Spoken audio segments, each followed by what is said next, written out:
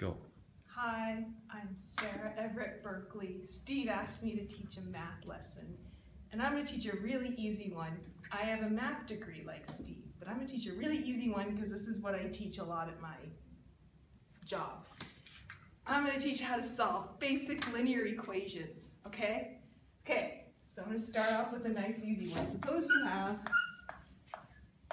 uh, 5x equals 60. And when solving linear equations, I have four questions I ask myself. Number one is, is the variable, meaning the letter, in this case x, by its self? And what I mean by by itself is I want x touching the equal sign. No numbers over there.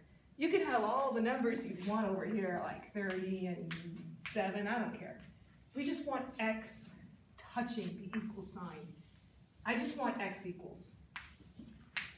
If yes, you're done. If no, then figure out what number is bothering x, or coming between it and its beloved equal sign. And in this case, x is not by itself, because there's this 5 next to it. And that's not okay. x needs to be by itself. So, in this case, it is 5. Now the third step is, well, what is that number doing there? Like, why does it think it has a right to exist there? What is 5 doing? And by doing, I mean, is it being added? Is it being subtracted? Is it being multiplied? Or is it being divided? And then after that, you figure out what it's doing. You undo that. Meaning, do the opposite.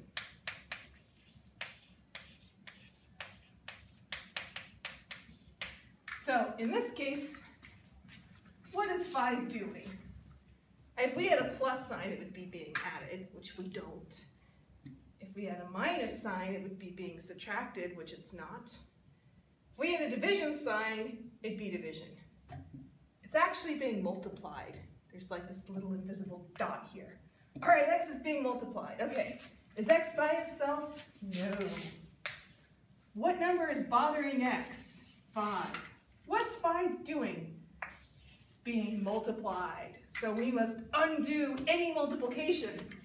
So the opposite of multiplication is division, which in the happy land of algebra we represent by division bars. I am dividing by 5, because that's the number that's bothering x. Who cares about 60?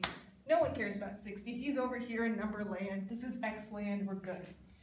Anyway, 5x divided by 5, this goes away. We got rid of x. And what's left? Multiplication kind of went away with division. Next is this letter. So without thinking, I'm just going to write this letter. Next is equals. I'm going to write an equals. And 5 divided by 60, I can go over and do to little long division land. do 5 goes into 60. 5 goes into 6 once. 1 times 5 is 5. 6 minus 5 is 10. 2. Yay, x equals 12. And then I go back and repeat my steps. Is x by itself, meaning x equals. I have x equals number. Yes, yes it is. That means I'm done. Yay, I'm done. Happy face. But now, yeah, this looks easy, right? Why do all these ridiculous steps for something so easy? All right, I'm gonna think of a different one. What if I had x plus 5 equals 60? Why not? It's the same thing, right? And what if I'm like, okay, I'm gonna go divide both sides by 5? Because, hey, that's what I did last time, isn't it? Isn't it? But no, no, no, no, no, because we forgot this step. So is x by itself? No. What number's in the way? 5. What is 5 doing? Well, what's 5 doing to the x? What are they doing? they're being added. Oh no, division's not gonna help addition. It's not gonna do anything. What undoes addition? What is the opposite of addition? Subtraction. So to solve this problem, we must be flexible like water. We must be aware of what that number is actually doing to the letter. So then we can be like, minus five, yay, minus five, yay. Math goes away, and I'm just gonna rewrite this thing without thinking. You went away, equal sign, and 60 minus five, I don't know what 60 minus five is. I'm just gonna write 60 minus five, because I don't even care. Okay, maybe I care a little. Maybe Mr. Chow cares. Okay, 60 minus 5 is 55. x equals 5, 55. Is x by itself? Yes, it is. Now we're done. Yay. All right, but now you may still think, hey, that's really easy. I could have just thought in my head 55 plus 5 is 60, duh. But algebra just gets harder and harder and harder and harder and harder and harder. And algebra is not meant for smart people who can just do things in their head. That's not what algebra is about. It's about taking a really difficult problem and making it so anyone can do it, regardless if you know a lot of mental math or not. Regardless if you're a human calculator. Algebra is a system for you to do math. And it's about, and what it does is it slows up your thinking so you can tackle challenging problems. So we're gonna do another one. I'm gonna have 3x plus 5 equals 7. And so, oh no, we have two numbers bothering x. We have the 3 and we have the 5, and we must get rid of them both. But the question is, which do I get rid of first? And here's how I like to think of it. Well, there's a very good mathematical explanation. I like to think that x is this magical treasure box.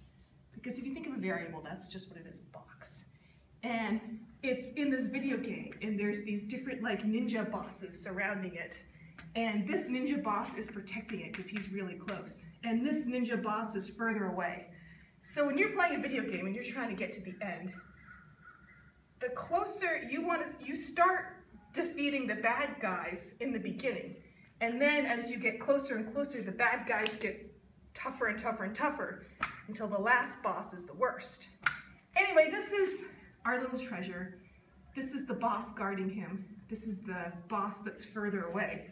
You want to start with the, the bad guys that are further away. You kill them off first before you get to the treasure. So is x by itself? No.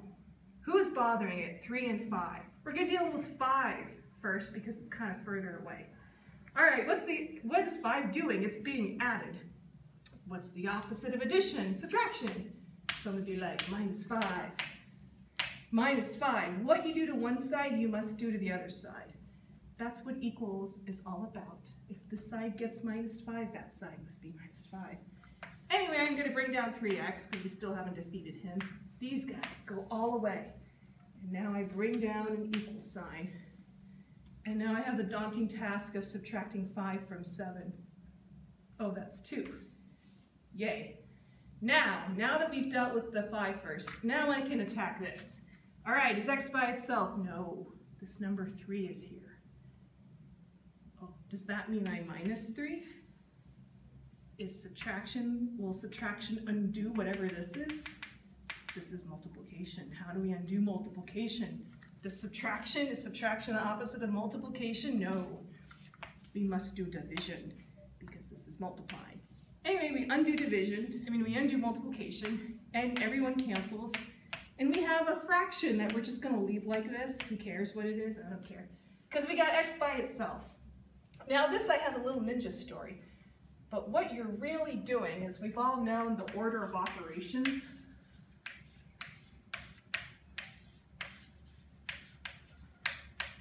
You know, PEMDAS, parentheses, exponents, multiplication, division, addition, subtraction. Is that what it is? Probably.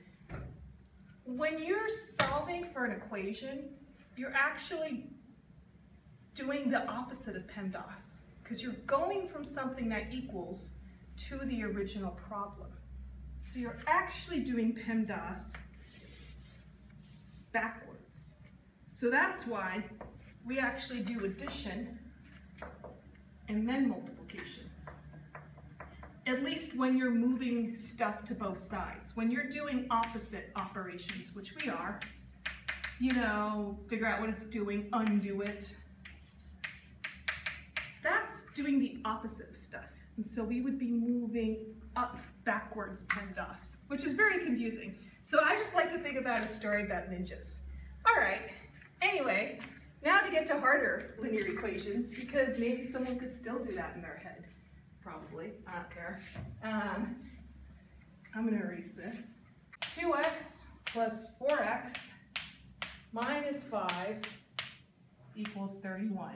All right. Oh my God, I got like four numbers and two letters here. Oh no. When doing algebra, the first thing you want to do is read it out loud. And, and I'm going to be like, okay, I got 2x plus 4x minus 5 equals 31. Okay, 2x plus 4x.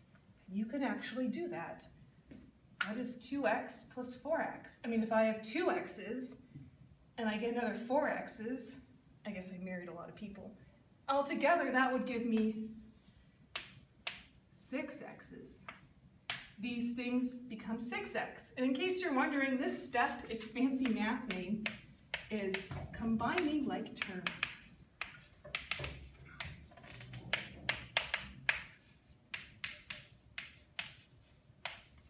So all my x's come together to be 6x, and they go away. No one cares about them. And without thinking, I'm just gonna mindlessly write stuff. Ooh, look, a minus sign. Minus, ooh, what's that number? Five. What's that? That's that symbol. All right, don't even think about it. When 80% of algebra is writing the same thing over and over and over again. Because algebra is about doing hard math problems. And math, hard math problems are hard because you think about a lot of crap in your head. Algebra is designed to deliberately slow you down so you can think about one concept, do it, then do the next concept, then do the next concept, and focus on doing each concept accurately. Otherwise, you're prone to make errors, which eventually we all make lots of math errors. So just think this is the math. I'm combining like terms. 2x plus 4x is that. I'm just going to mindlessly copy everything. All right, I have this. Is x by itself? Alas, it is not I have a minus 5. I'm going to undo that. I'm going to add 5. I'm going to add 5. Okay, now I'm going to bring down this thing. I'm not even looking. This goes away by equals 31 plus 5. Okay, I have to think now. Okay, that's 36. Take as much time as you want to add 31 plus 5, because that's all you're really doing here, and that's okay. All right, now I'm back to 6x equals 36. Is x by itself? Do I just x and the equal sign? No. The evil 6 is bothering it.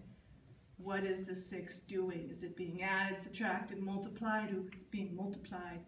I'm going to undo that with my fancy division fraction. And I'm going to divide by 6 and divide by 6. And it's like, yo, we went away.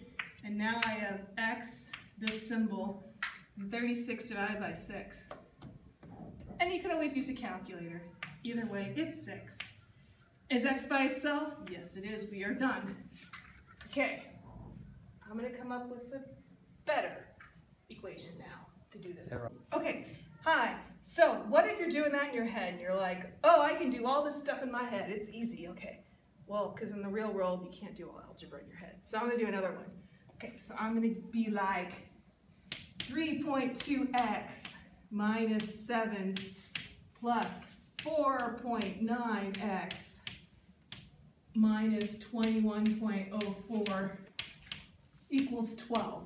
Are you're crazy? I know, yeah, but I mean, it's not like I can do this in my head. And I've done algebra problems like this, harder ones. Algebra, the same steps that allow you to do that easy stuff can allow you to do this. So first step, combine like terms. Okay, I have something with an x.